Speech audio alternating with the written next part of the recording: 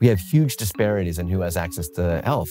I think that patient would rather have survived with their privacy and without their privacy intact. It's big problem in medicine. Number one, adherence. Bill Gates once said, uh, we all tend to overestimate what will happen in a year and underestimate what will happen in a decade. When shall we cure cancer? Daniel, thanks for finding the time and for the amazing opportunity of getting some insights into the future of healthcare. You've spoken a lot about the future of health and innovations powered by new tools, which most of us now literally keep at our bedside. Sometimes a bed itself is smart enough to read your vitals during the night. Duke University's smart toilet now utilizes artificial intelligence to monitor bowel health.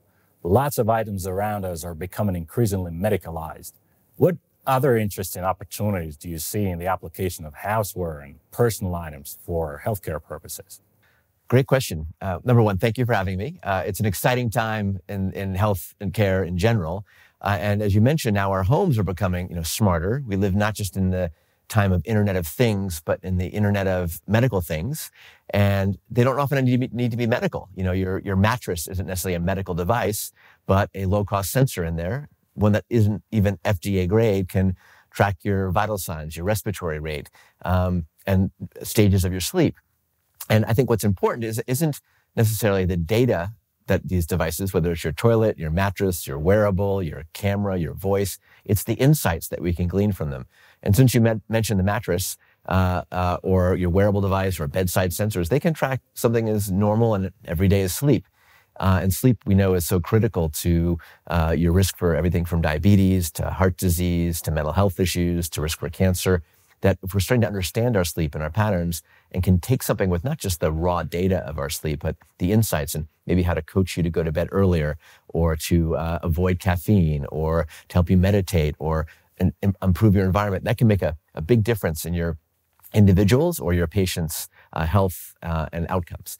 So uh, I like to think more about not just the little siloed sensors, toilet, wall, cameras, but how you put those together. And as our houses get smarter, sometimes it might be as simple as how often you're opening your fridge or older patients. Sometimes maybe if they stop using the coffee pot at the same time every day, something's happening and they might have a risk of a, a fall or you might need to call and check in.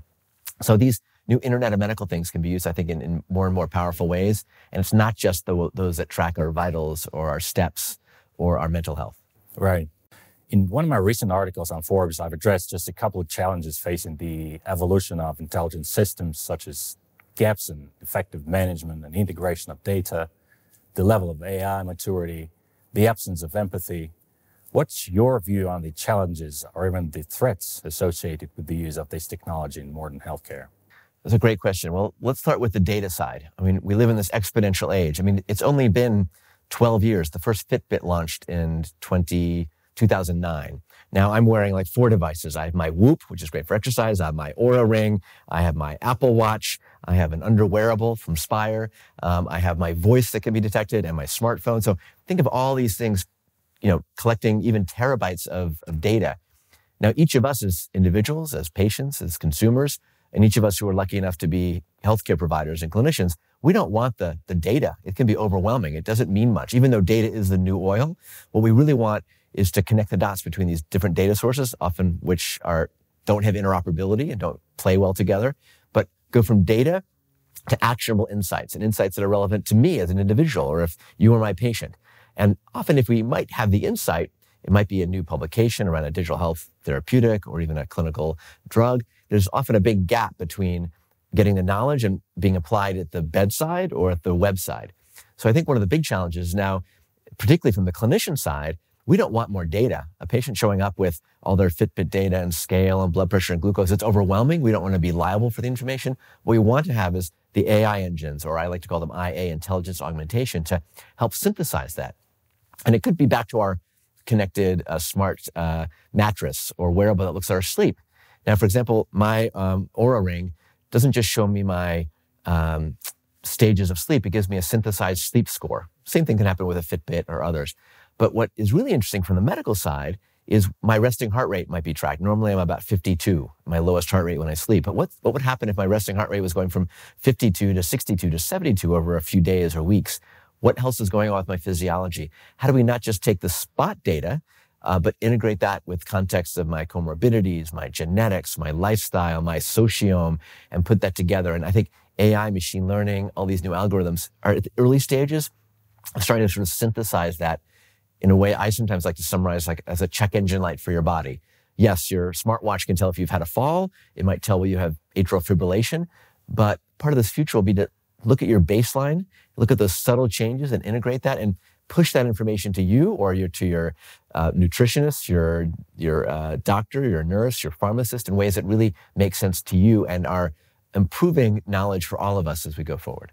So lots of challenges. And one of them is connecting the dots. One of them is making that actionable flow. And from the doctor or nurse or healthcare perspective, to make sure it integrates into workflow. Because as of today, we're speaking in the fall of 2021, my new iOS 15 on my Apple uh, smartphone now makes it much easier to share data, not with just my friends and my family, but with my doctor or my health system. And the challenge is what does that data mean in context? We don't know what my changing and resting heart rate might mean. What does my digital exhaust, my digitome mean uh, from a relatively healthy individual or for someone who has diabetes or heart disease or COVID? So I think we're going to learn to make sense of this information in context. That's one of the big challenges and one of the big opportunities. Right. I, I totally agree. You've touched a very important uh, area, the interoperability of data. It's, it's very important. I think it's probably never been of such an issue as now with the abundance of all those devices that we currently have. But we'll come to that. I just wanted to get back a little bit to the intelligent machines. They have not taken the Hippocratic oath and obviously do have issues with empathy. So how in this case should we address the questions of ethics and responsibility? Will AI will ever be able to not only follow clinical protocols and predefined logics, but also take ethical and morally balanced decisions like a human doctor? Yeah, that's a great one. I mean, in, in terms of ethics and regulations, often the technology is moving faster than our institutions and our regulators and our governments can keep up with, including in AI and genetic editing and genetic engineering. And uh, so I think we need to pay attention to where the technology is, where it's heading, and help our clinicians and our ethics boards try and make sense of it. You mentioned empathy, right? or rules based medicine. Um, we know that there's a lot of, um, in some systems and some studies, the, the fourth leading cause of death is medical errors. So just because you have a human in the loop doesn't mean you're going to be doing the right thing or looking at the right information at the right time or making the right evidence based decision. So one of the things, of course, that AI, machine learning, big data can do is, you know, read every paper, um, maybe help rank the evidence, and hopefully provide that just in time to the clinician in terms of computer aided decision support so that even from something as simple as prescribing a new statin to a patient who has high cholesterol, I'm not just picking the average dose, 40 milligrams of atorvastatin. I'm looking at your pharmacogenetics. I'm looking at your renal function. I know what your scale was and what your blood pressure changes were. I might pick uh, simvastatin at 10 milligrams or 80 milligrams, depending on your genetics. And I think sort of some of that rules-based evidence, integrating the massive amounts of health information we have now, can help us do a much better uh, job at not just uh, following algorithms, but improving those algorithms and providing that information to the provider. In terms of empathy, uh, you know, we want technology to hopefully enhance that. Uh, for example, an important part of health outcomes is how you interact with your health, healthcare provider, your doctor. Even the doctor-patient relationship is, is therapeutic. And if I get a text from my doctor saying, "Hey, hey, Daniel, how are you doing on that new medication we prescribed?" Oh, I say, oh, my doctor's paying attention. I might do a better job of just taking my medicine, even to do it for him or for her. So that's a little bit of a form of sometimes digital empathy. Even if my doctor wasn't really texting me by himself, it was through a software algorithm, that can help people be much more engaged with their medical team and find problems early. There was a Stanford or a San Francisco based startup called HealthLoop, which would send patients home after a, a total knee surgery, orthopedics procedure and it would do a form of digital empathy. It would ask them, How are you doing today? Same, better, or worse? Any pain in your leg on day three? And it would pick up problems earlier. Patients and their caregivers would feel more involved. And it would sort of use uh, those communication touch points as a way to um, improve data and then clinical outcomes by sort of a form of empathy. But of course, machines can only do empathy to the point where they're programmed to. Not everybody interacts with health data and technology in the same ways. We talked about interoperability. There are there are new ways to connect the dots with HL7 and FHIR that are going to help on that platform. But there's no substitute for humans in the loop. Um, but we can use technology to help keep humans in the loop and help us connect to our care providers and up level information when it's necessary. Great, great. Um, that, that absolutely makes sense. We now have AI embedded in many health information systems, augmenting human doctors in many ways for clinical decision support and e-prescribing, for patient triage and relapse prediction, image inter- interpretation, robotic surgery. So how likely is, is the scenario, is the future where intelligent machines replace human doctors in every stage of, of healthcare, or will it just remain on the level of, as you call it, intelligence augmentation? Well, I don't think it's an either or. I mean, it's not about human versus machine or you know robot intelligence and AI versus human intelligence. I think the the, the strongest outcome is in in collaboration. The idea not of a robot, of a, a cobot. Um, you know, think about I'm a pilot. I love flying in aviation, and I'm flying to Boston today on a triple seven Boeing, right? which there are still two pilots on board, but the plane can essentially fly itself. And in many cases, has the radar and the GPS and the situational awareness that can make that flight much safer than in the old days when it was a pilot flying by hand. Um, but we still have pilots in the cockpit, even though the entire process could be automated. So I don't think there's uh, going to be a, a time very, very soon where the robot will do all the surgery without a human in the loop. But many elements of care can be augmented by not just the intelligence elements, but sometimes getting there before the clinician. So, for example, um, we talked about the smart home and the connected devices. That data set that comes in from my steps and my sleep and my scale, my blood pressure, and even my refrigerator might start to integrate synthesized data. It's like just, wow, Daniel's likely to have a fall or a heart attack or a stroke or something's off that you would never be able to pick up by just looking at one day's worth of data. That AI algorithm can hopefully push that warning to my medical team. And that would be a sort of a bit, a bit of a collaboration. I would go in and hopefully have a more detailed evaluation.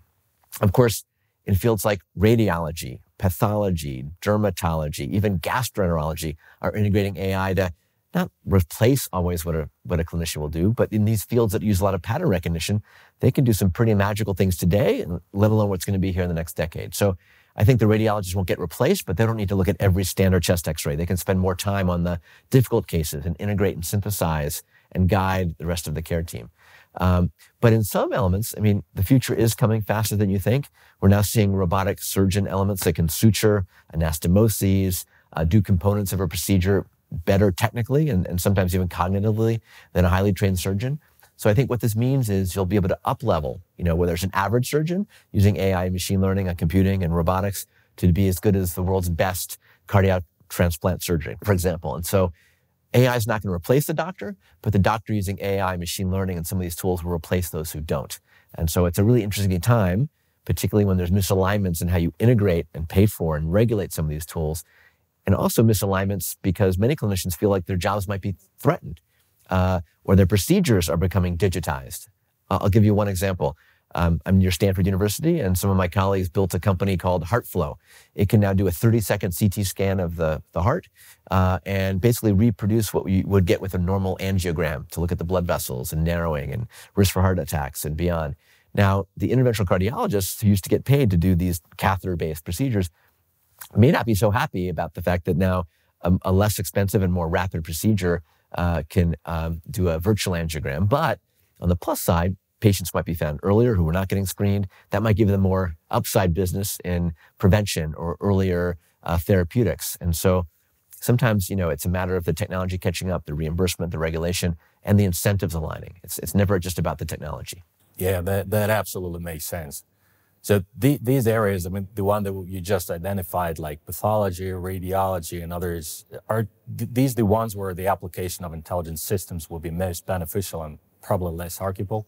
Well, it's already here. I mean, we already have you know companies that have uh, been integrated into major systems, uh, uh, often systems that aren't fee for service, but are you know more value based care, where they don't need to pay for every X-ray or every uh, pathology read. Uh, I think, again, that technology is already coming. It's just not evenly distributed. And when we start to show with trials that has been shown down the street at Stanford again, that uh, the AI radiologist can do a better job at finding that lung nodule and, and identifying whether it's cancer or non cancer. Or when a digital pathology image can not just say this is breast cancer, but can say it's HER2 positive or PR negative. It can understand the genetics sometimes just from the image uh, we're going to start to see these things getting integrated because they'll give us faster answers at lower cost and change health outcomes. So, you know, big picture, a lot of these technologies start expensive, uh, start with some, you know, misaligned incentives, but in the big picture, can make healthcare, healthcare more democratized, more accessible. And because 50% of doctors are below average, uh, we, we need augmentation to help us make the right decision to do truly personalized precision medicine using the data that's hopefully crowdsourced from around the world and uh, really help move the needle to bring care anytime, anywhere uh, with better outcomes and lower cost. Okay. Uh, reminding Babylon Health, the UK digital first health service provider, expansion to Africa, namely Rwanda, where about 30% of the population use the platform because of lack of medical providers in place, burst concerns that in the future, access to the human doctor will be a privilege of richer people, and the rest will be dealing with AI based virtual medical consultants. What do you think about this scenario? I think the opportunity to use smart systems like Babylon or Ada or uh, Sydney Care, you know, chatbots uh, at, at some level that can help an individual use normal language, uh, ask a question about their health, get information back is tremendously powerful because we have huge disparities in who has access to health.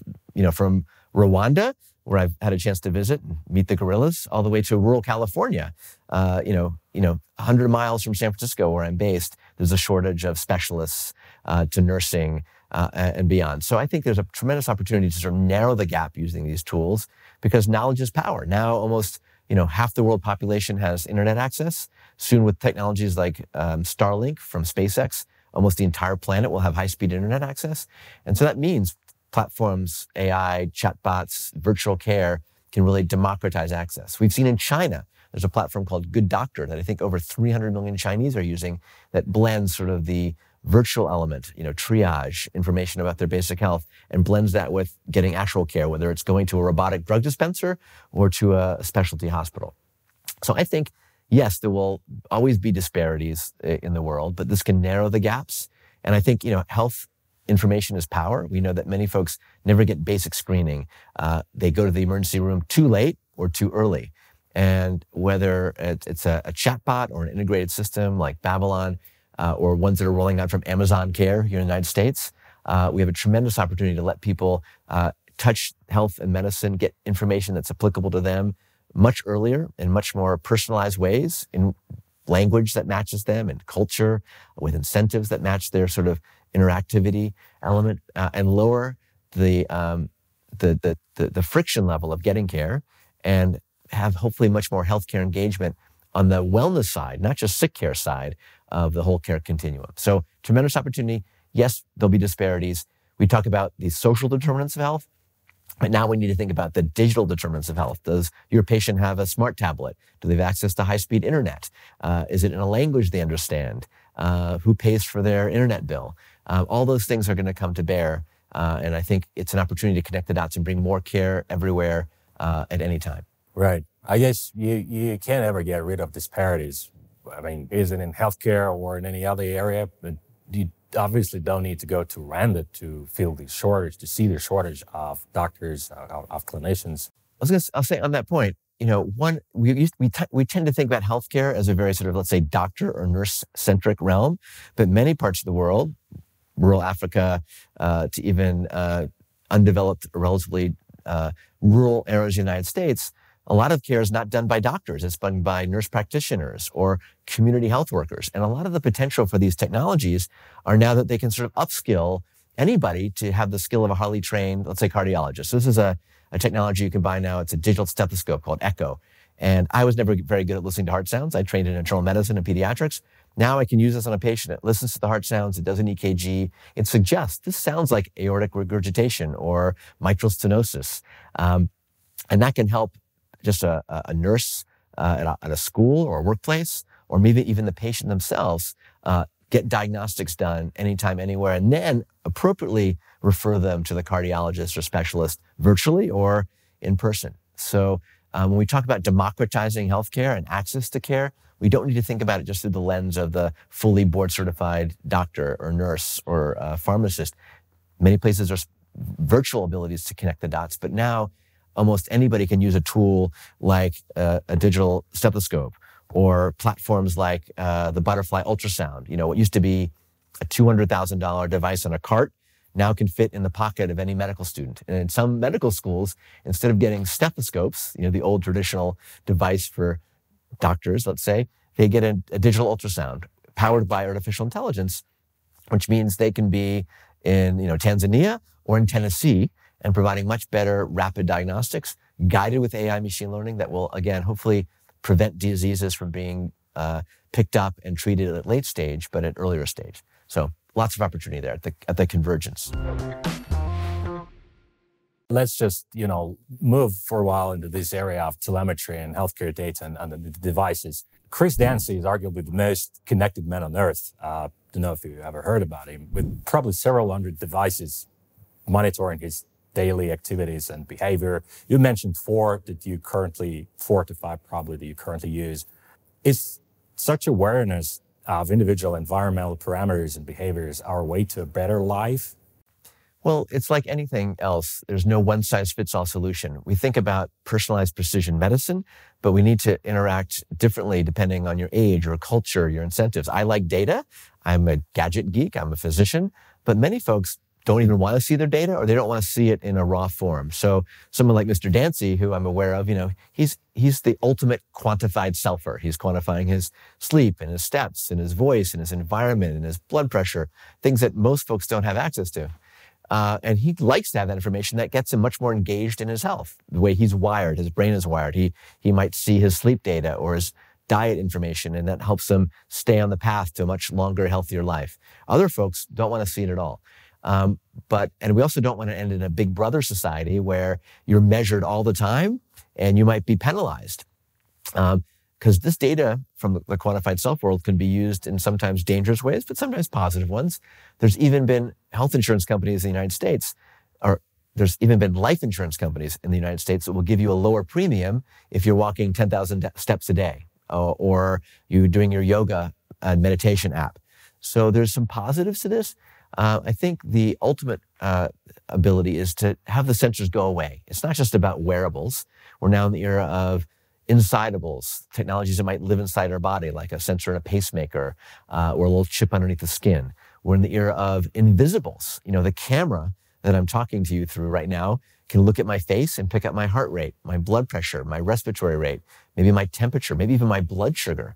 And so we're going to start to be measuring things seamlessly.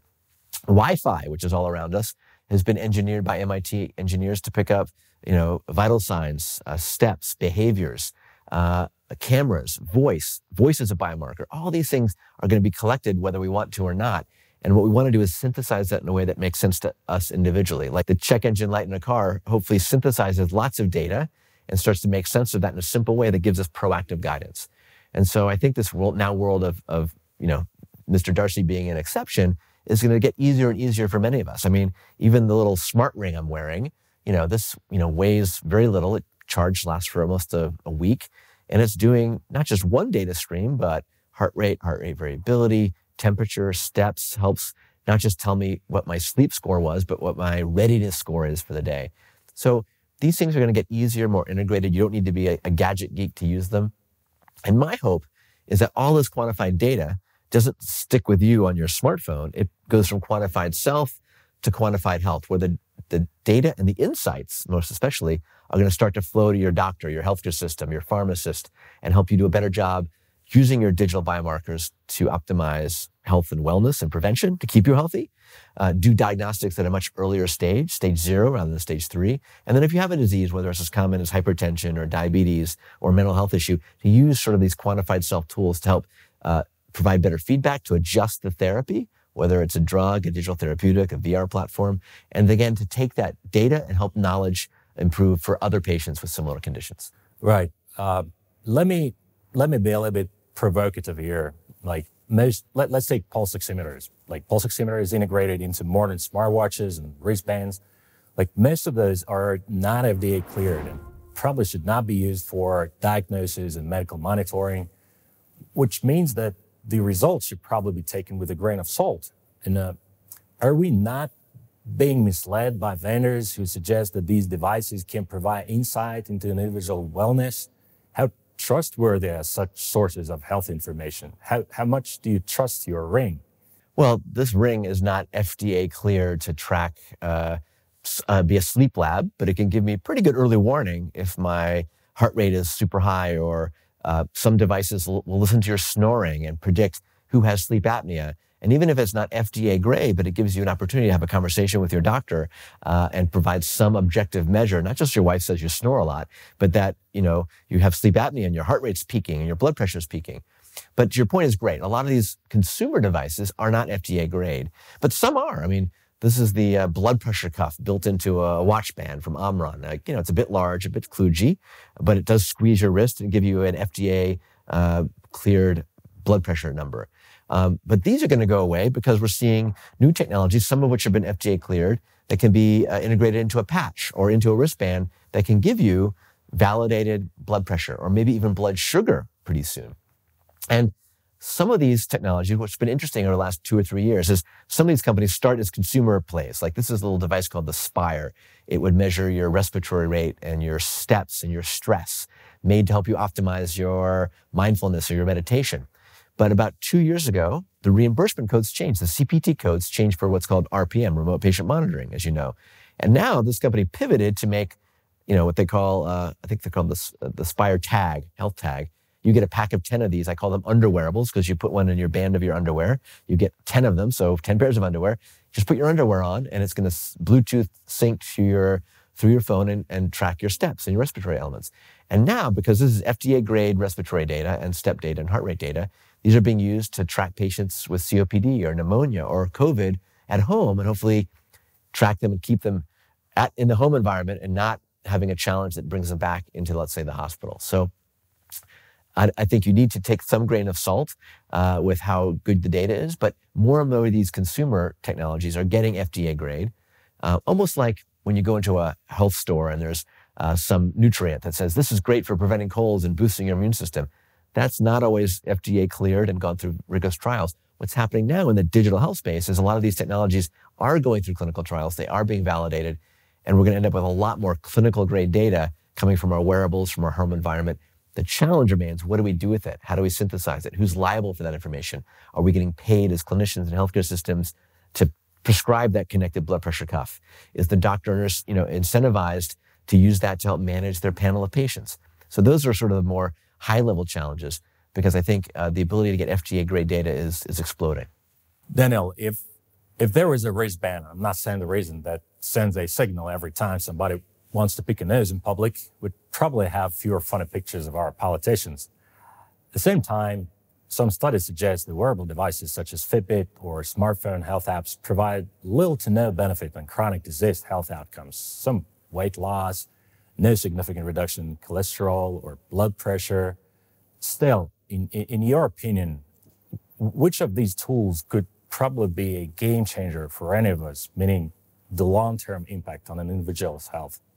Well, I think uh, you know the wearable by itself is a bit of a so what. These are becoming commoditized. You can get the equivalent of a highly next generation Fitbit from China for 25 US dollars. It's not FDA grade yet, but it shows you how quickly these technologies are becoming commoditized and in many cases are becoming uh, regulated devices that have great data. But yes, just prescribing someone a Fitbit does not mean they're going to lose weight, or giving someone a connected blood pressure cuff does not mean they're going to um, uh, stay on top of their blood pressure medications. They need to be integrated in a much more smart, personalized way. The user interface, the design thinking, uh, often is sort of ignored. I mean, even with our next generation wearables, the app looks the same whether uh, you are in Latin America, whether you speak Spanish, Russian, Polish, whether you're 70 year old or 17 years old.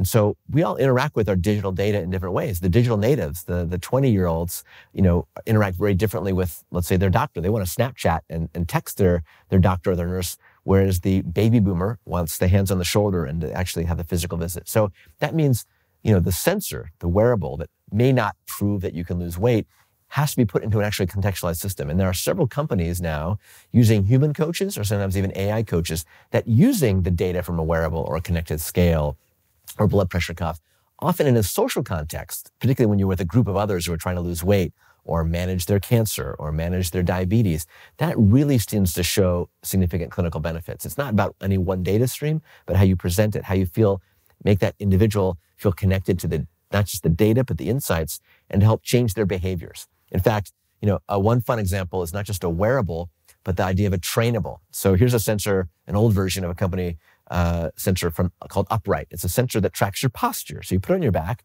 and if you're bent over for too long, it gives you a little buzz. It's like your digital mother, and it reminds you to sit up straight. And about a week of wearing this for an hour or two a day, improves posture even for the next two or three months when you're not wearing the sensor.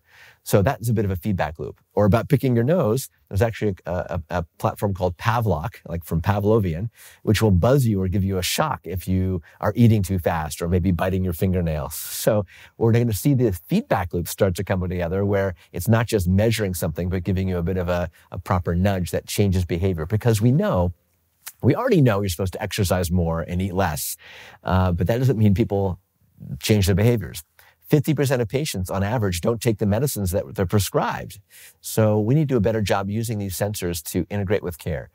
But I would, you know, challenge your construct. Some papers have shown in looking at lots of trials that maybe there's not a lot of income, uh, outcome.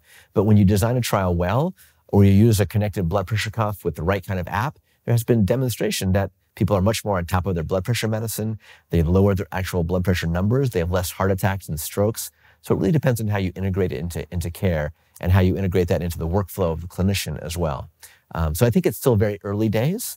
Uh, we're going to move away from many wearables, as I mentioned, to the world of inside-ables, to the worlds of, of uh, invisibles, and that our digital exhaust, our digitome, will start to be collected 24 7, whether we like it or not. And we'll hopefully use that in smart ways to really personalize our nudges for prevention, diagnostics, and therapy. Thanks for that. Let's talk a bit about digital therapeutics and digital rehabilitation that have been proven effective through the number of feasibility studies. Companies provide intelligent assistance to stroke survivors and to those suffering from mental disorders. Even on the basic level, simple step, step counters, just get, getting back a little bit to what you said, if used consistently, could be applied for medical purposes as part of a weight loss program. Still, clinicians seem to be in no rush to incorporate such tools in, in their daily practice. So, what's the reason for it? And will anything change in future medicine? You're spot on. I mean, I think we can use a lot of these tools today. Clinicians are starting to in some places, but number one, it's not really part of their practice of medicine. They're not trained in medical school, whether they graduated last year or 20 years ago, to leverage our new connected mobile world. In fact, you know, I like to think about the challenge now. There's many solutions. When I gave a TED talk in 2011, 10 years ago, about the future of medicine, there's an app for that. There were about 35,000 health and medical related apps. 10 years later, there's 350,000.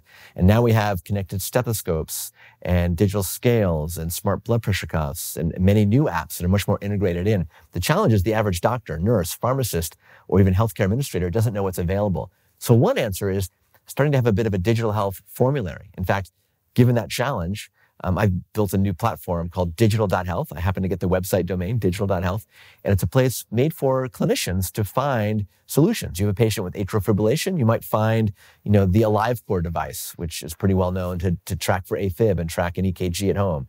If you have a patient who has a mental health issue, you might prescribe them the Headspace app to meditate or Ginger IO for more significant mental health issues. Um, you may have a patient uh, who has challenges tracking their medication. You might prescribe an app. The challenge today is most doctors, nurses, pharmacists don't know what applications, digital devices, and, and synthesized devices and machine learning and AI exist. And they're not paid for by many of the insurance companies, whether it's a, a Blues plan or NHS or a Kaiser.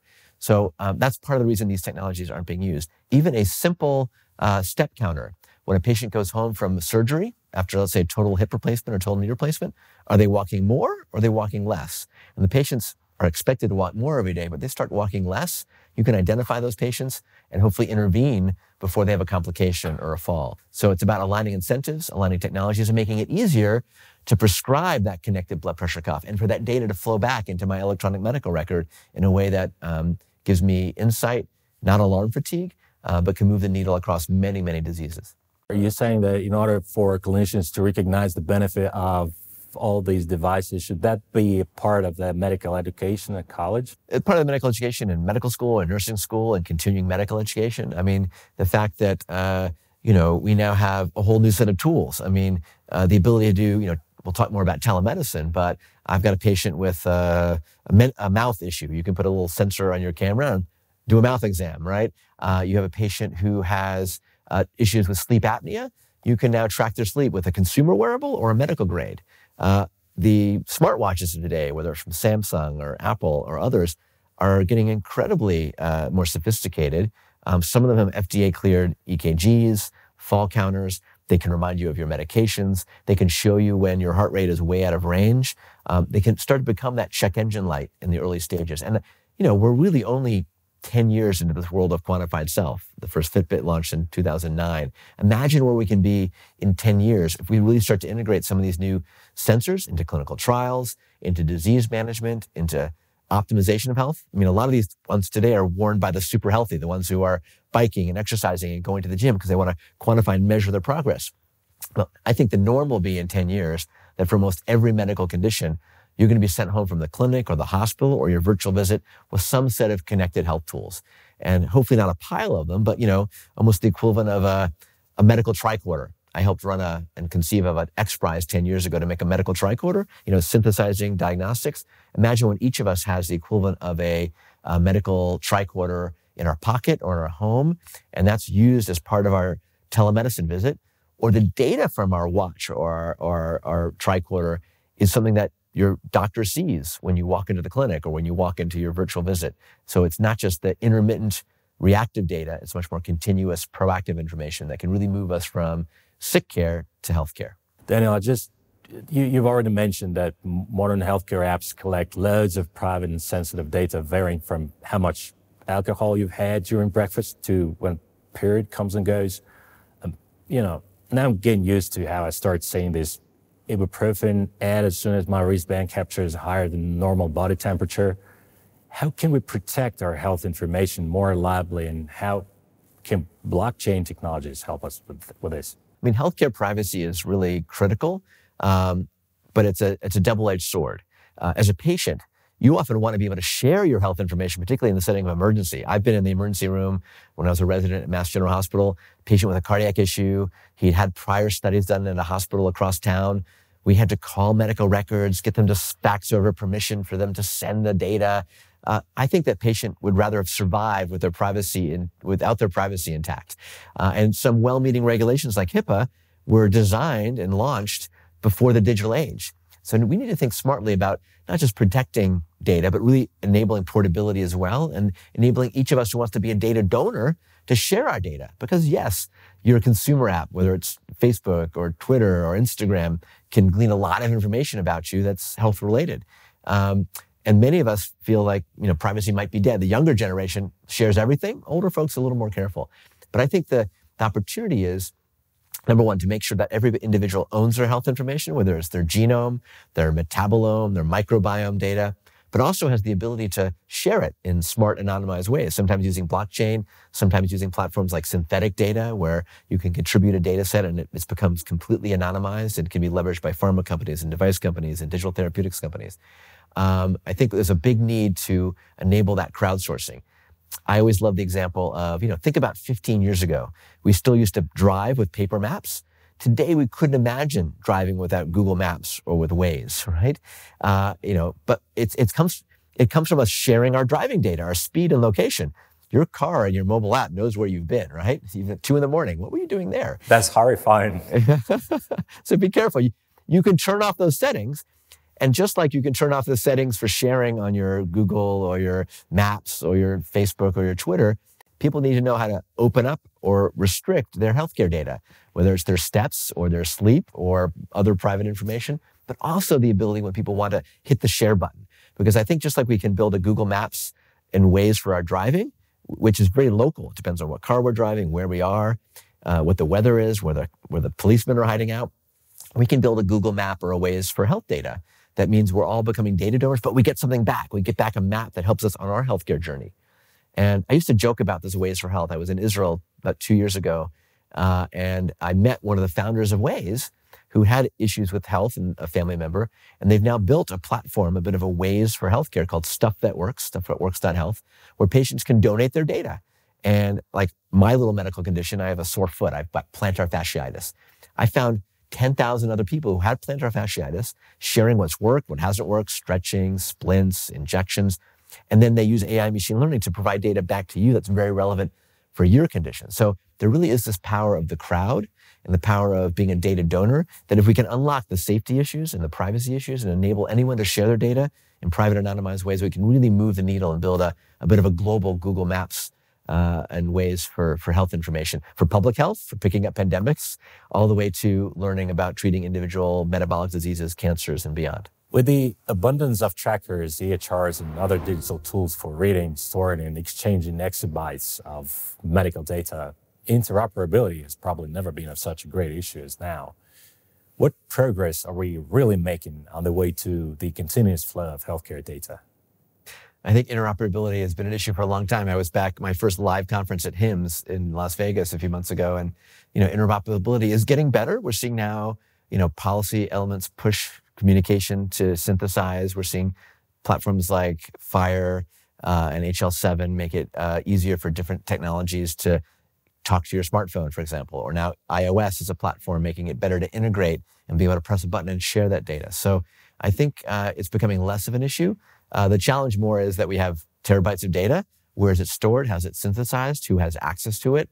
Uh, because as I mentioned earlier, it's not about the data. We want the actual insights that can be used by the patient, by the consumer, by the clinician, by the pharma company, uh, by the holistic, you know, global medical platform to to improve uh, health outcomes. Um, so I, I am not a uh, health IT expert to say to say that interoperability is is you know, doing X, Y, and Z. But what I would say is anyone designing a next generation sensor uh, or platform uh, to think about how it gets leveraged, to think about how it flows into the workflow, think about how you keep that data both private but also accessible. Uh, to think about um, you know how you merge that with other forms because the future of medicine is built at this convergence of you know losing AI, machine learning, blockchain, but layering that now on Internet of Things wearables, inside-ables, sensibles, you know, even not just your microbiome, but your metabolome. You know, now in the last few years, you can get a wearable continuous glucose monitor that used to be only for diabetic patients, but now can be used to look at your, you know, your metabolome and help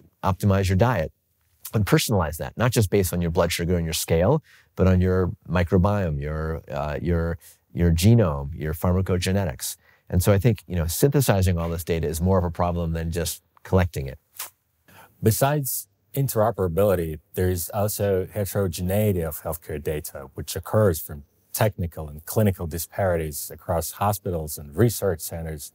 The problem getting even worse from the global standpoint. For instance, a doctor working in a London hospital may use a specific protocol to treat a melanoma patient, while a doctor in a New York hospital may have different conventions to treat the same patient. This does not exactly facilitate the harmonization and analysis of data coming from different sources. How far are we actually from the absolute homogeneity of data in healthcare? Is it any way possible? Well, just like politics, healthcare is often very, very local.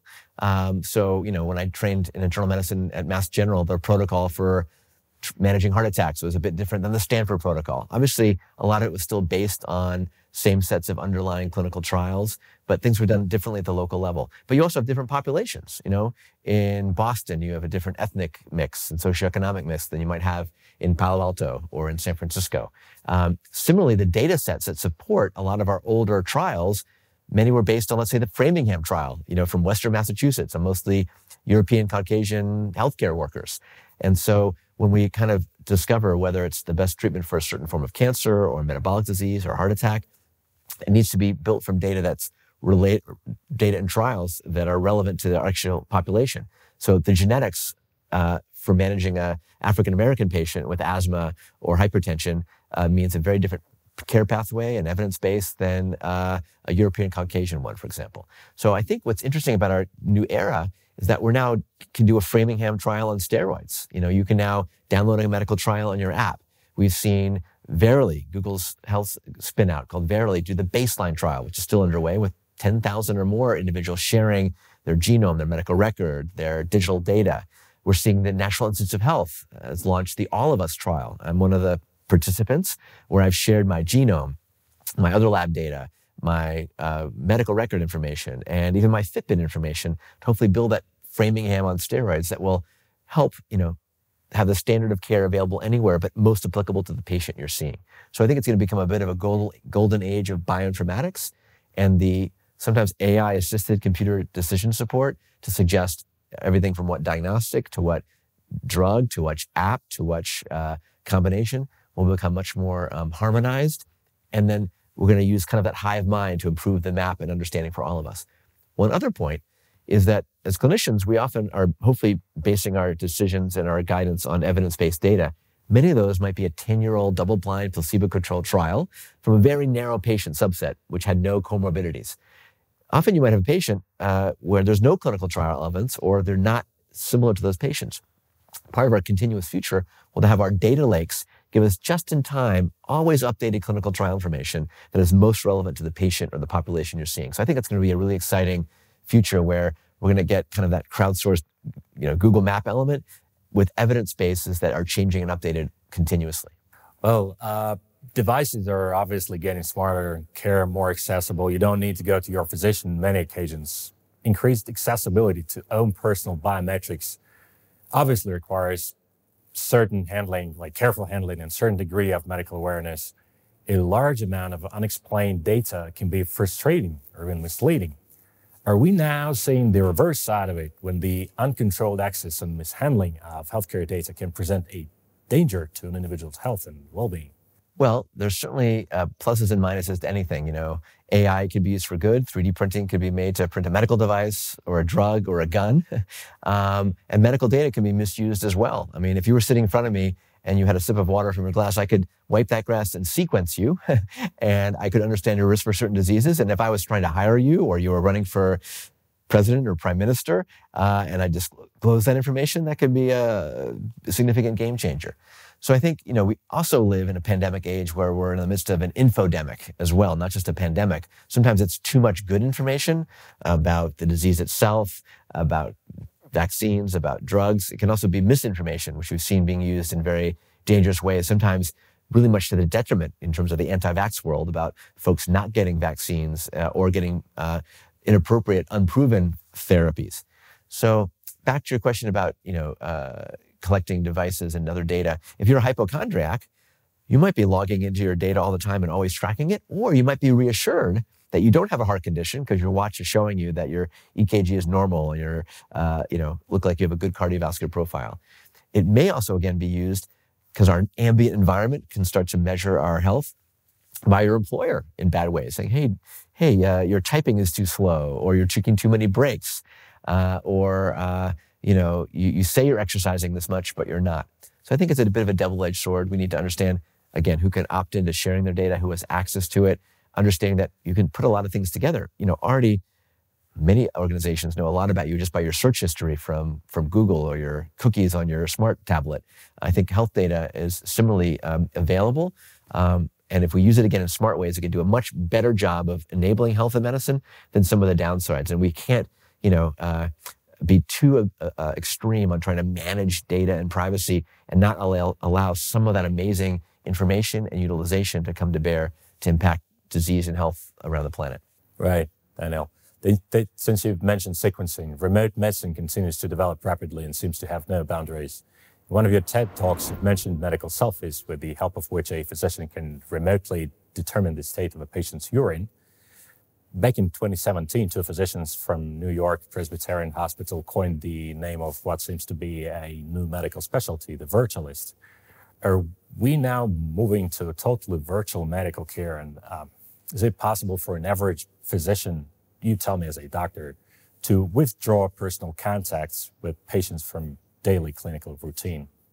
Well, in many cases, there's an old study that said only about you know 20% of medical visits really need hands-on care.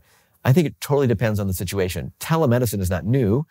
And virtual care in the setting of the COVID pandemic, you know, accelerated, I think, 17,000% in the spring of 2000. It's come down quite a bit. But many of us as clinicians or as patients have experienced our first virtual visits. And many of them like it. We like them. You don't have to take a half day off of school. It may be just a little post-op visit from a surgery or with a mental health worker. And a lot of that can be done virtually. I think the, the best combination is when you have that personal relationship with your clinician and you're able to then augment that with a virtual visit uh, as well. Because in most cases, many of the apps that are out there, you press a button and you talk to some random doctor or random nurse. It's sometimes not about your con- continuous care, but about something urgent or, you know, getting some medication that might be embarrassing to get in normal ways.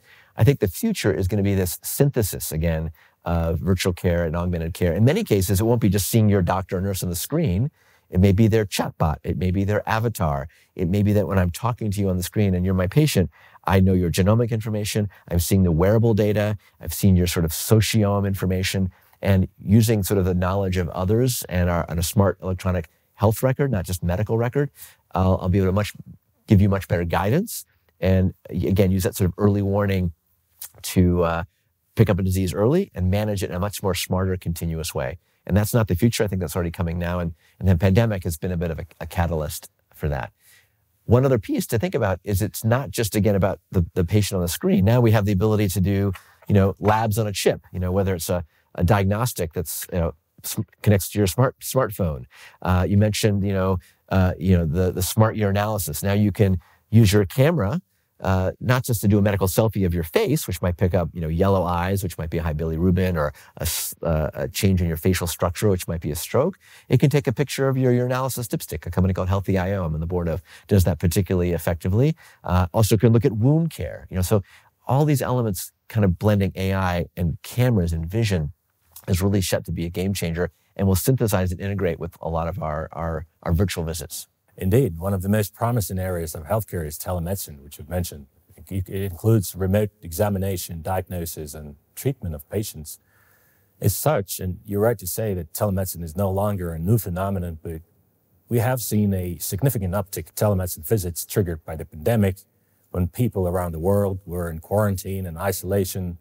Significant progress has been achieved in remote diagnosing and managing various diseases like COPD, diabetic retinopathy, etc.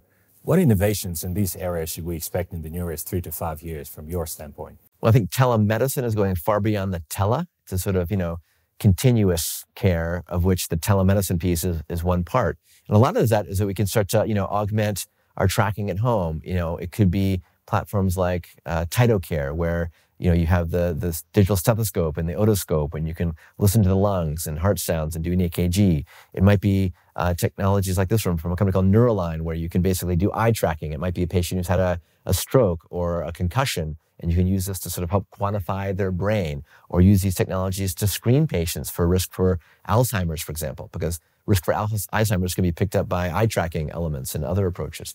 So I think we need to think differently about you know our, our future of care. We've gone from hospital to home or hospital to hospital, where our technology is taking us from hospital to home to phone to on and inside our body. We're seeing this meta trend of the big pharmacies take healthcare technologies and bring them into their big box pharmacies, whether it's CVS or Walgreens or Walmart. And you know, many patients don't live near a hospital, but they live near a Walmart or a CVS, and so they can go into these centers and get labs done, digital diagnostics done, and even in some of these settings, you know, dental care, veterinary care, and mental health elements. So there's a big, big shifts in everything from our primary care to our specialty care, and uh, we're seeing new players come in from the Apples, Googles, Samsungs, Facebooks to the, the WalMarts uh, of the world and the pharmacies like CVS, which are connecting the dots and enabling care to happen in new ways in the home, but on your corner pharmacy, on your body, uh, and beyond. And it's up to healthcare systems to adapt to that because, you know, it's a threat to some old business models. The hospital CEO wants their hospital beds full. The insurance company wants the beds empty. So how do we, you know, design value-based care systems where, you know, you don't need a brand new hospital with 100 beds. You need a smaller footprint with leverage technology, lower cost imaging technologies, better telemedicine tools, which are going to increasingly, you know, connect the dots and bring care anywhere, anytime. Daniel, one of the promising trends in modern healthcare is 3D printing. It's actively used to create medical tools, prostheses, drugs, implants. It has been used during the pandemic for printing masks, respirators, and even critical parts of lung ventilators. What's your view on this technology? Its real value, scalability, and efficiency. Can we say that in the nearest future, a great deal of medicine and medical equipment will be created by the use of 3D printing? Well, 3D printing is, you know, one of those other buzzwords, you know, 3D printing, AI, machine learning, big data. Uh, I think what's interesting about 3D printing is it's becoming consumerized. I mean, there's now a 3D printer uh, built by some students who came to Singularity University called Made in Space. And they 3D printer on the space station where you can print a ratchet if the astronauts lost a ratchet, or they could print a little brace for an astronaut who tweaked their finger, for example. You can't send up a, a new medical device easily to the space station. And the fact that these printers are getting small and cheap and can be in your home or in your clinic or you're in your operating room is going to give us uh, a way to really start to use 3D printing across healthcare. In fact, it's already here. Um, most hearing aids are personalized to the inside of the ear based on 3D printing. Many orthodontists, you've seen the braces that are made basically by 3D printing uh, from a mold and changing uh, your teeth. Uh, we've seen some orthopedic companies 3D print medical implants. And we jump forward in the future, I think we might see a big change in medical devices because now you have to have a supply chain and a big closet full of devices.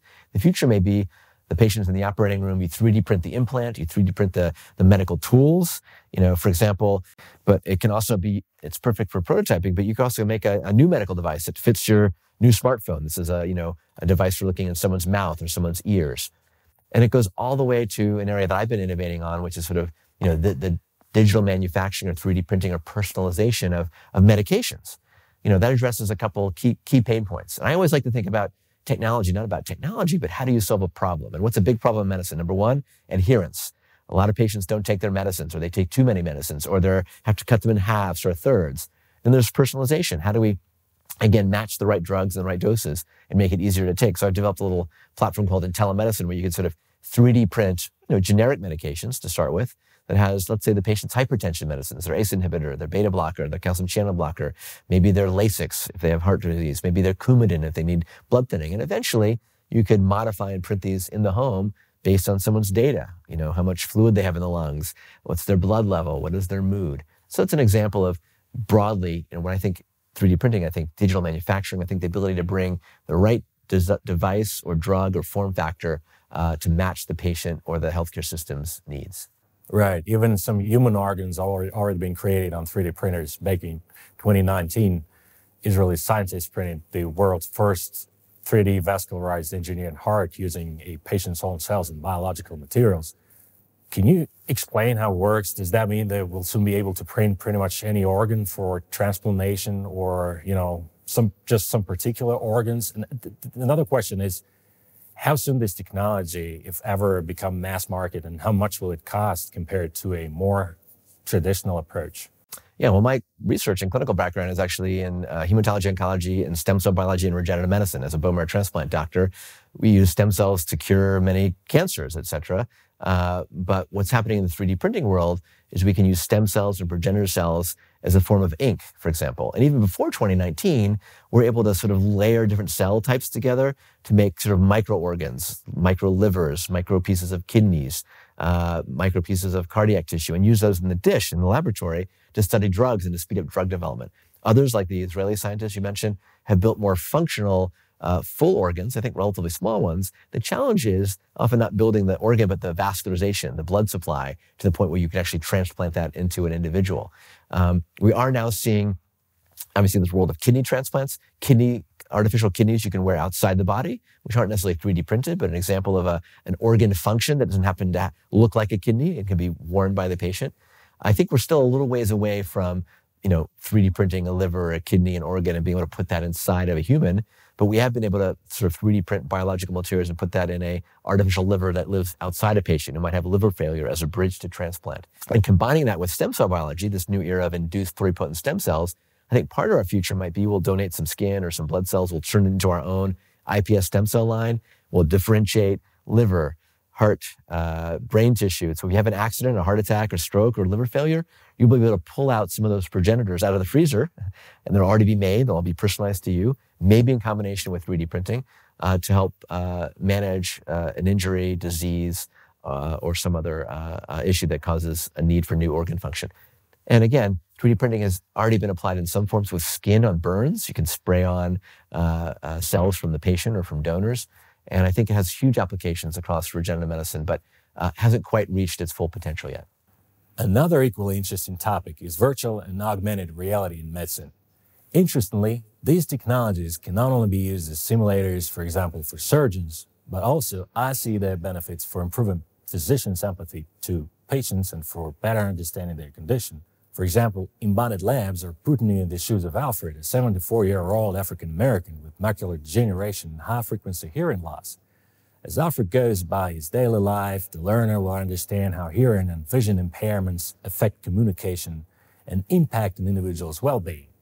Sounds weird, but we can get access to the areas that aren't available for a healthy individual. How can we leverage this opportunity? So augmented reality, virtual reality, extended reality, that's one of my favorite fields because it's really it's a convergence at this interface of all these sorts of platforms, wearable computing, high speed bandwidth, new generations of sensors and motion sensors. You know, we can look back, what, six, seven years ago? This was the coolest tech there was, the old fashioned Google Glass. Remember these? These were not a great hit for, uh, you know, consumers, but they've been increasingly utilized uh, in the medical space. Even Google Glass is now a enterprise version uh, and there's platforms and companies that use glass technologies to enable the clinician to see data about their patient, uh, to record information, and beyond. But I think what's exciting is number one, you mentioned digital empathy. I can now go into a low cost uh, headset. Uh, you know, uh, here's one from Pico Labs. Some of you have seen Oculus Quest headsets. They're only about, what, three or 400 US dollars. Um, they used to be millions of dollars worth of technology that you'd only find at a Stanford virtual reality lab. And so now this enables almost anybody to, yeah, not just be in the shoes of a patient, but understand their limitations, whether a patient has macular degeneration or has hearing issues or mobility issues. You can sort of feel what it's like to be them. You can look in the mirror and see yourself as a different age or race uh, or with a handicap. And so that's one piece of it. Uh, it also can be used for therapy. You know, virtual reality is becoming a therapeutic tool. You might have a patient with bad burns and extreme pain. You can put them in a VR headset in a cold environment, throwing snowballs at penguins through an app called Snow World, for example, and they use less than half as amount of opiates and pain medications. Or these are great for virtual reality tied to physical therapy. You can play a game, moving your arms, your legs, and getting scored on that and engaging folks in physical therapy. Uh, it's being used especially in the future and today of medical education. You might be an orthopedic surgeon. You can go into an app called Osso VR and you're in the operating room and you can practice a total knee replacement or a, a much more rare complication. And just like a pilot in a flight simulator, the surgeon or the doctor or the nurse or whomever can now simulate what often would be very difficult to practice and do that many, many times, not just by themselves, but often with their teams. So many of us who are medical people, we, we train to see one, do one, teach one. The future is going to be see one, simulate, simulate, simulate, simulate, just like an airline captain simulates emergencies and difficult landings and bad weather, and what's called crew resource communication. How are you communicating with your team in these environments? So I think that's going to really improve care as we go forward, all the way to the point where your surgeries, your procedures of the future are going to be blended with augmented reality. Uh, HoloLens, Magic Leap are becoming better and better and cheaper. So the future of many interventions, what you're going to be seeing the patient. You'll sort of see through the patient, their anatomy. You might be guided step by step, kind of a GPS for a procedure. And so this entire field is really sh- set to impact almost every element of healthcare in some way. Right. And speaking of, of personalized care, would, would it be possible for us sometime in the future to create a virtual model of any patient based on the existing complaints and individual parameters so that a clinician can embody the patient in order to closely engage with them? I think what you're talking about here is now we have this explosion of data as we talked about, whether it's from your digitome, your sociome, your genome, your microbiome, your metabolome, you pick it, right? And what we try to do as doctors and as folks trying to manage patients is take the best available data and, and pair that to our patient. But it's like now an overwhelming amount of data, and even the insights are hard to connect. Our brains haven't had an upgrade in several million years, but our technologies upgrade all the time and new, new information is pouring in. So there's this new term often called the, the digital twin, where uh, you can imagine for each of us and for each of our patients, we'll sort of have a, a, virtual avatar, you know, where we can sort of dial in what happens if this patient loses 50 pounds or changes a medication, uh, or we optimize their, uh, their drug levels, uh, or we put in a certain medical device, or we use a certain app that uses the data from past patients and simulations of future ones to really predict what's optimal for that patient for wellness and prevention, for doing the appropriate diagnostic workup, and then most importantly in therapy, you know, what do we choose that really matches that patient and use that almost like a, a simulator uh, would simulate, you know, a flight simulator or Sim City for simulating what happens in a city. So many moving parts. We're going to start to integrate that. And I think that's part of our, our future of health and medicine and our ability to be data donors uh, as well as data users to kind of build those better avatars uh, going forward. Daniel, uh, regardless of how fast health technologies have been progressing, my feeling is that it's only rare companies and healthcare systems that are able to keep up with such rapid development, meaning the gaps in their infrastructure, the outdated hardware, undereducated personnel. This is just a short list, list of issues, but it's actually very long. At the same time, the upgrades require enormous investment. Would the cost of it be justified compared to the expected positive outcomes? Well, number one, uh, we're spending more and more dollars, particularly in the Western world. I mean, approaching 19% of our GDP in the United States. It's unsustainable, but our health outcomes aren't even getting better. In, in the United States, the average life expectancy has actually been going down, sometimes from the opiate epidemic and other elements, and certainly the, the, the COVID pandemic. We're not getting more for our dollar in many cases. Um, we also know that we might have the best and most amazing science fiction type technology, but it's not always being implemented. We've talked a lot about that in this discussion. And in many places, we don't practice, you know, exponential medicine. We practice incremental medicine. Everyone wants to be very, very careful and move in little tiny steps.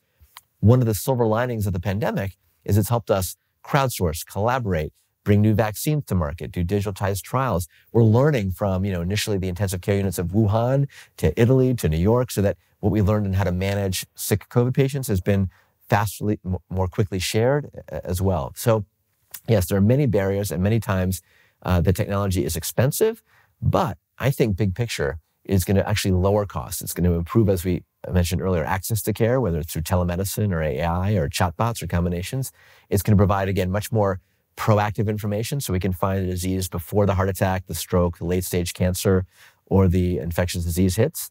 It's powering, you know, new low-cost home diagnostics. So we'll have not just a COVID test at home, but we'll have tests for the flu and RSV and non-infectious diseases. It's opening up worlds of telemedicine and beyond. And as we start to show in rigorous ways that these technologies and solution sets, when applied appropriately, can bend the cost curve, uh, especially when we're proactive. We're doing healthcare, not sick care, and we're preventing the patient from getting diabetes, or we're screening them with the medical selfie and urinalysis to find out who has got protein in their, in their urine before they end up in renal failure and need a kidney transplant or dialysis.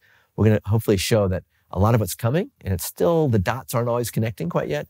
Really have the opportunity to, to lower outcome, to improve outcomes at lower costs, and get every individual and community and healthcare uh, worker much more engaged in health in a much um, smarter, data-driven, and insightful way. Right. Speaking of, as, as a clinician, you obviously seen instances of mistrust of the new technologies, either on the patient's or on the provider's side. So what can we as techno- technological companies do better in order to overcome these? That's a great question because we've seen through the pandemic, especially in this infodemic, that many folks may have all the evidence in front of them, but they're still never going to believe in that vaccine because it's genetically engineered and has a, a, microchip. But at the same time, they'll take synthetically derived antibody therapies if they do develop COVID. So I think number one, we need to step back and think about health education uh, at the earliest levels, from little kids to folks in high school, college, to understand, you know, what's a clinical trial? Why does science change? You know, it was first no masks and then masks and information on this, and it seemed to have changed. That's science. That's how we learn and evolve. So while there's been levels of distrust, that distrust has had high mortality and high morbidity, depending on where you get your news sources, particularly in the United States. If you get sources from one source of news, your likelihood of getting COVID and having mortality and morbidity is much higher than another. So information as a drug is powerful. And I think we need to be smart about health education uh, as we go forward. And helping different communities as well. In the African American community, there's distrust that goes all the way back to the Framingham trials, uh, not there's distrust that goes all the way back to the Tuskegee experiments, where African Americans were exper- experimented on without their knowledge or uh, understanding. So we need to meet different communities where they are and start to establish better trust. Physicians used to be highly trusted, hospitals, healthcare systems. That's changed quite dramatically uh, uh, in some settings uh, during the pandemic. We need to heal that understanding of science, medical progress, so that we can trust what the FDA says, the CDC says, WHO, and uh, it's super critical because mistrust has led and will lead to you know really bad outcomes.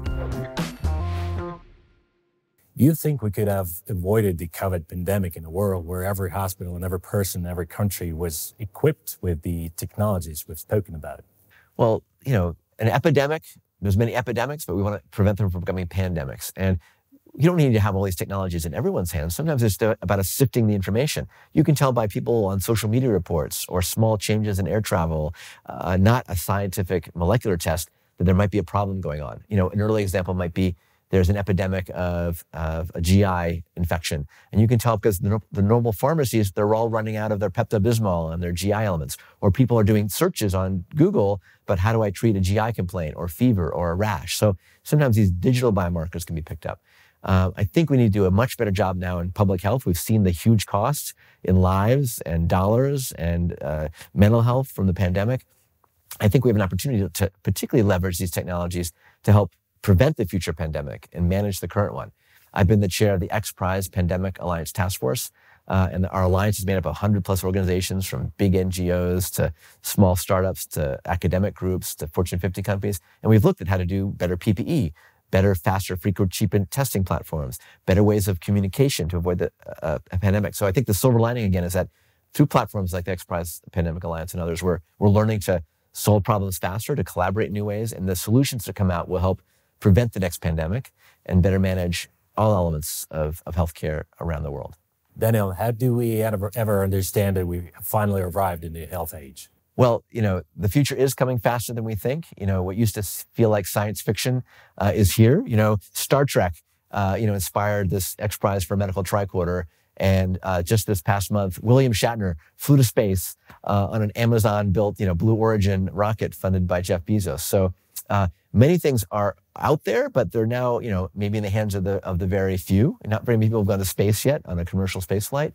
You know, technologies like you know the smartphone are democratizing access. I mean, early on these were expensive. Only the super rich had a mobile phone, uh, and the early smartphones were, were, more expensive and very rare. Uh, the early Teslas were much more expensive, and now we're seeing. Uh, examples of you know uh, electric vehicles expand around the world, even self-driving. So, I think we have entered this health age. My friend Regina Dugan, who used to uh, run DARPA, likes to say that just like Sputnik sparked the space age, COVID sparked a bit of a new health age, whether it's telemedicine, new forms of vaccines, new ways of doing public health, better collaborations, you know, from lab to laptop, from hospital to home. And uh, I think we're entering this age. It's up to all of us to understand not just the technology that's here today in 2021 or 2022, but be like Wayne Gretzky and skate to where the puck is going to be, where, where AI, robotics, 3D printing, nanotech, genomics, blockchain, CRISPR, drones is going to be in 2025 and 2030. Um, because, like Bill Gates once said, uh, we all tend to overestimate what will happen in a year and underestimate what will happen in a decade. So we can't have a failure of imagination. We also need to help bring our colleagues along who are often stuck in the past and using fax machines and CD-ROMs and paper forms and take the solutions of today, you know, leveraging platforms from our EMRs to platforms like I built like digital.health or collaborations to sort of bring us from incremental medicine to exponential uh, and bring us into a health age that is applied to all of us, not just those of us who might live in, in big Western cities, but means almost anybody can have access to smart diagnostics, a chatbot, telemedicine, genomic sequencing. Um, so to really fulfill our opportunity to reach uh, a health age that uh, brings that uh, for all of us here on, on Spaceship Earth. I just can't miss this opportunity speaking with the oncologist. Please answer me. When shall we cure cancer? Well, forgive me, but I think that's the wrong question because there's no one cancer. We've had the cancer moonshots, et cetera. But um, even when you talk about lung cancer, you're talking about a thousand different molecular subtypes, let alone breast cancer, let alone pancreatic and others. So I think the real promise now, and it's we talked about this health age, is that we're entering a time now where you can do just a blood test, a blood biopsy. A company called uh, um, uh, has a platform called Galleri from from Grail Therapeutics that's just come to market. So a blood biopsy, looking at mole- molecular signatures, can find up to 50 types of cancers early. When if you detect them early, you have a chance of saving a life or mortality and morbidity. And so we're starting to understand almost every disease, whether it's cancer or diabetes or autism. Uh, you pick it at not just the usual old way of defining it, but at its molecular, at its epigenetic, at its digital phenotype. And particularly with cancer, I think it's particularly exciting because now we're understanding them at their molecular basis. We're able to design not just you know, carpet bombing chemotherapies, much more targeted immunotherapies, tumor vaccines, which are going to be built on the on the platform of mRNA, are going to be particularly exciting. So from the oncology perspective, we're going to get much better at detection.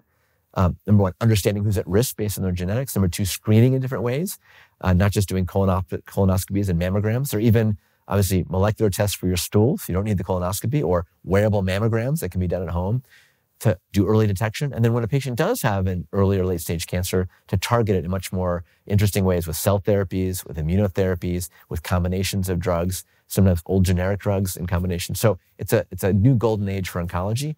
Uh, and I'm excited uh, to that, for that field to really uh, meet its potential. Daniel, as you speak a lot of the future health, which of your prognoses have already come true and which ones, as you now probably understand, are unlikely to happen?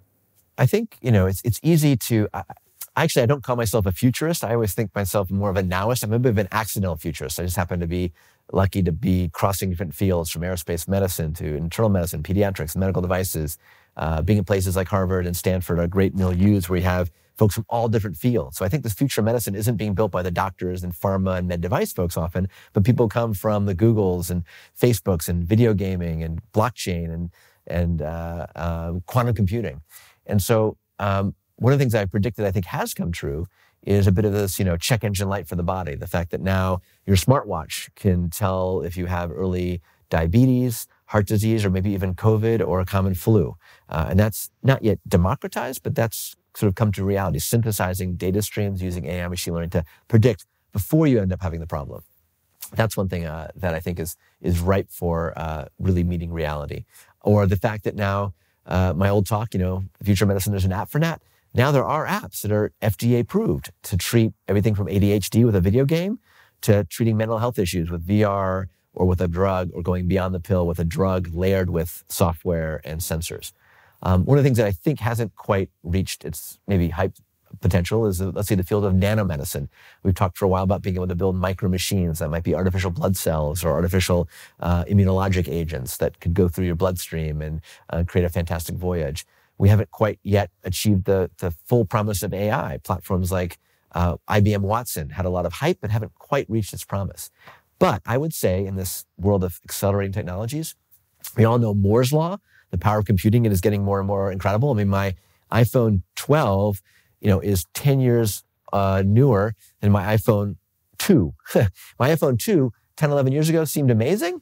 Now it feels slow and clunky and has a low resolution camera. In 10 years, my iPhone 12 or 13 is going to look antique and may have dissolved into my contact lenses or uh, into my AR uh, glasses.